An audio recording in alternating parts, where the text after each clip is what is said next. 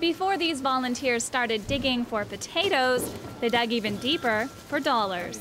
We're coming into the Christmas season right now, and I think this is a wonderful thing for people to be thinking about. Mark Dufresne and his team are celebrating more than Christmas.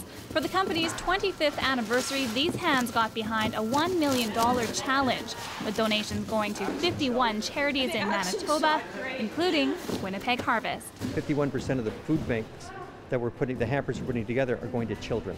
So here is a, a, a, step that says we recognize the need, we're putting some dollars on the table, but more importantly, I'm rolling up my sleeves and bringing the team here with me. We're going to make some hampers today. The impact on the community is immediate and direct. They're helping pack the 5,000 hampers going out of harvest every week. Now, the long term goal is to cut food bank use by 50% in the next nine years, but that can only happen if the community gets behind it now. We have to make sure people are eating and that kids are getting the right nutritional pieces, and that's what's happening today. That statement that says not only we're investing in the future, but right now people need to eat.